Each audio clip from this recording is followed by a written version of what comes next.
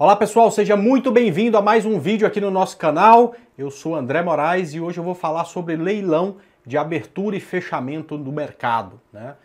Ah, por que eles acontecem, é, como acontecem, na abertura, no fechamento geralmente, uh, como você pode participar, como é que você pode comprar ou vender, o que você precisa observar, tá?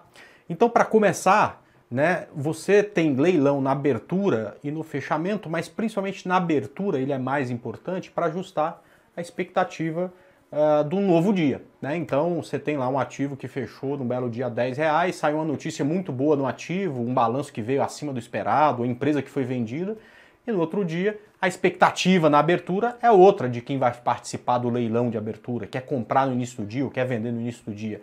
Então faz-se um preço médio entre os compradores e vendedores que querem no início do dia participar desse leilão e o preço de abertura é definido por essa média. Da mesma forma, acontece o leilão de fechamento tá?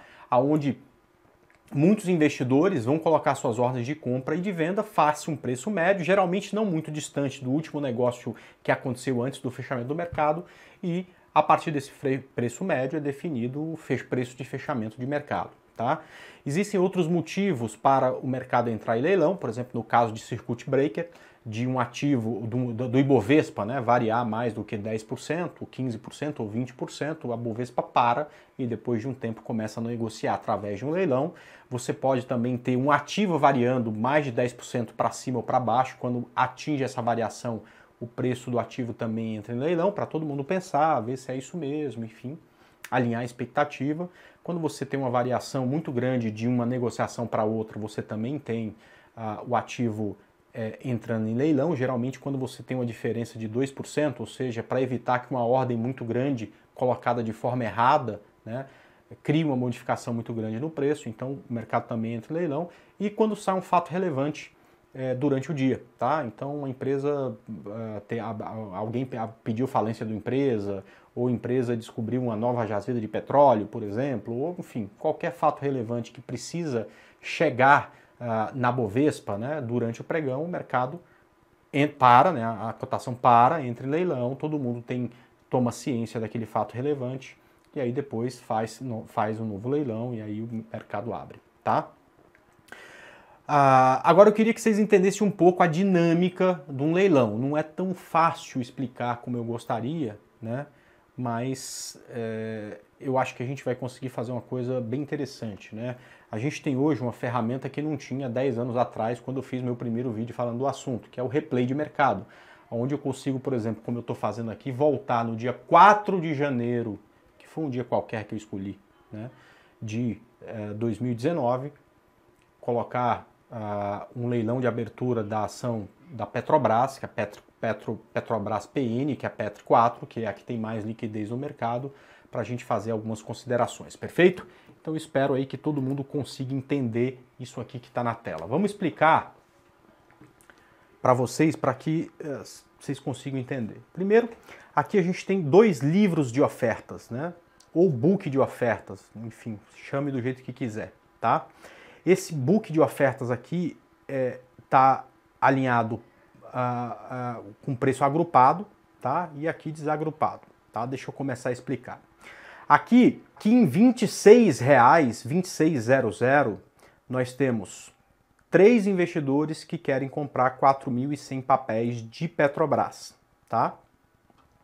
Se você olhar desse lado de, de cá no book desagrupado, você vai encontrar esses três investidores, só que eles não estão agrupados no mesmo centavo. Então aqui tem muito mais ofertas, né? Você consegue ver todas as ofertas e aqui elas estão de forma agrupada em cada centavo tá? Além disso, para você entender o livro de ofertas, do lado esquerdo, onde está azul, nós temos as ofertas de compra, do lado direito, onde está aqui rosa, né? A gente, nós temos as ofertas de venda, tá?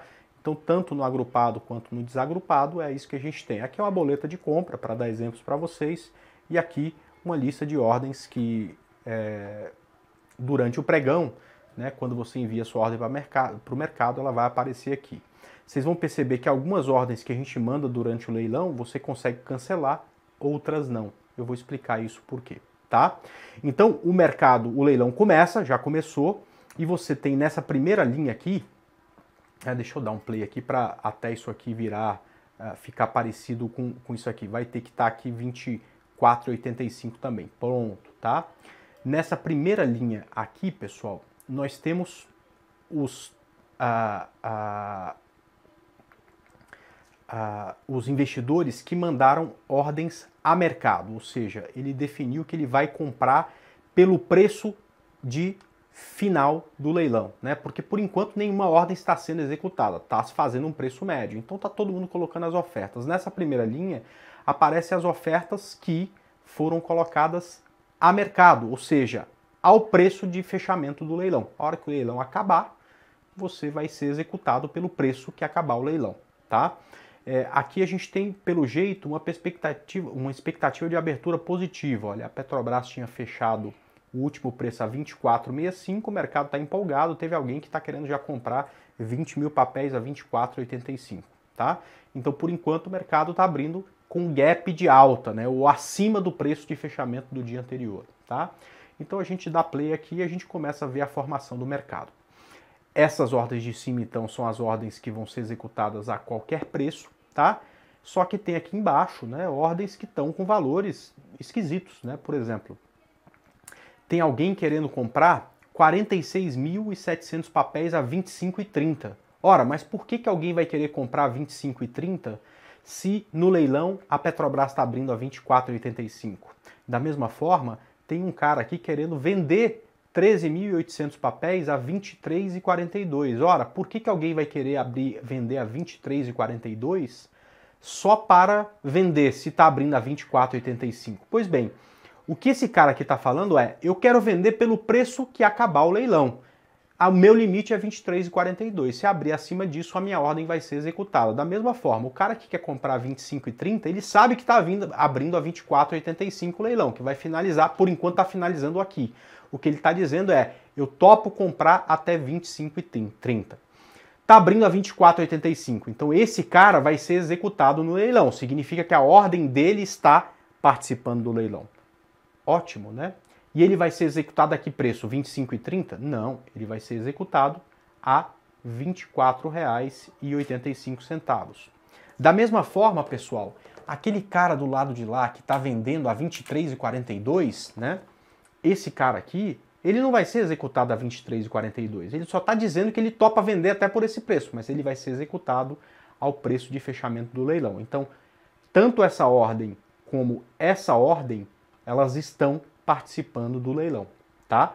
Elas não podem ser canceladas, a não ser que o preço abra acima do preço de venda ou abaixo do preço de compra. Ou seja, se estiver abrindo é, é, por exemplo, né, a, no caso aqui, a 25 e 31, tá? Essa ordem aqui deixa de participar no leilão, ficou para trás, porque tem mais gente querendo comprar por um preço mais alto do que esse.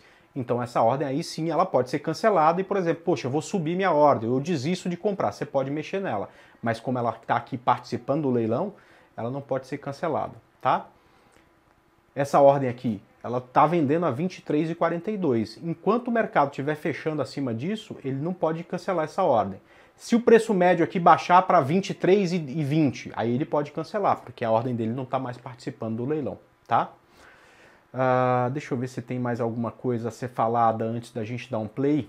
Acredito que não, né? Vamos lá, né? E aí, é claro, pessoal, já é mais de 10 horas, então as pessoas podem colocar, fazer ofertas de compra e de venda, tá? Vamos fazer uma nossa, tá?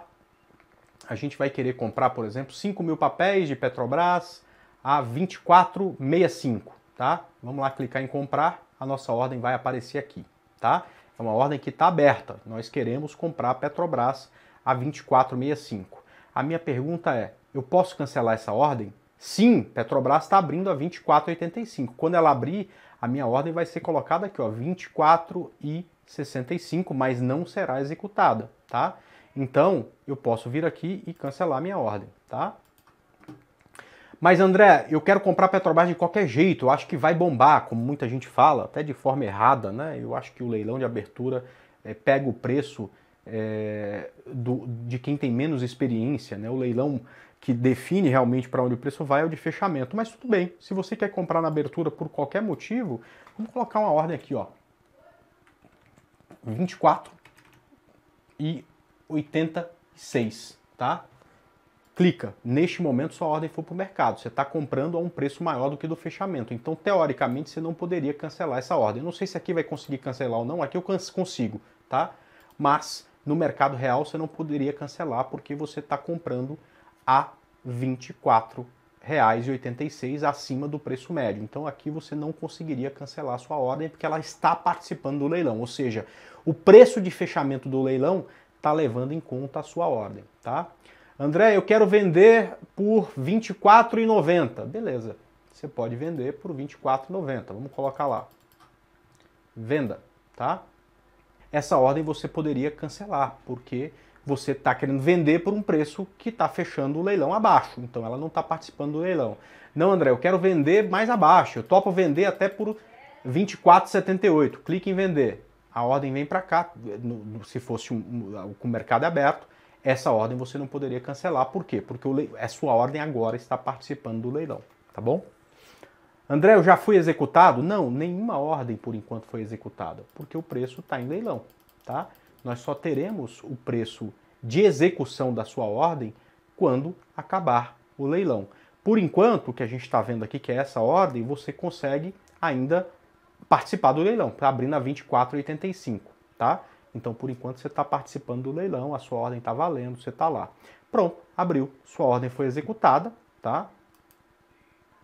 você comprou a 24,85, que foi o preço que ele é chamado de abertura, abertura do leilão, mas foi o preço pelo qual finalizou o leilão, tá? Então, você participou do leilão fazendo exatamente uma operação, tá?